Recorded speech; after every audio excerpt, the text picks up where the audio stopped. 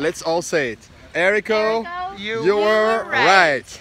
Bonjour, c'est Sébastien et c'est déjà vendredi et je suis avec Erico qui, après avoir appris que j'ai fait du crossfit, voilà, ça m'apprendra à avoir fait une vidéo là-dessus, a décidé de nous forcer tous là à faire du crossfit euh, avant d'aller en salle de séminaire à 7h du mat.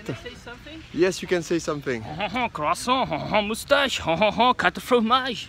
Il, est très très bon en français comme vous voyez.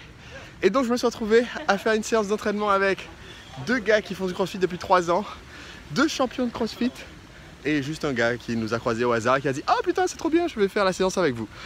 Donc euh, ça m'apprendra, ça me coûte très cher en fait de faire pour vous toutes ces vidéos déjà vendredi, vous voyez, je, je donne de ma personne.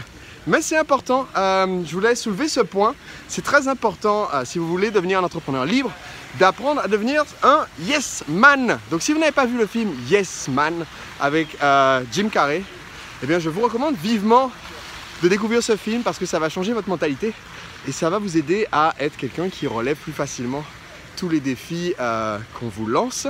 Et en, relevant les défis, vous allez faire plein de nouvelles expériences, vous allez devenir entrepreneur libre, vous allez rencontrer des gens vachement intéressants qui font des choses vachement intéressantes et euh, vous allez donc atteindre l'objectif bah, d'être enfin un entrepreneur libre. Comme chaque vendredi, dites-moi dans les commentaires ci-dessous où est-ce que vous en êtes de la feuille de route et où est-ce que vous comptez en être d'ici à vendredi prochain. C'est parti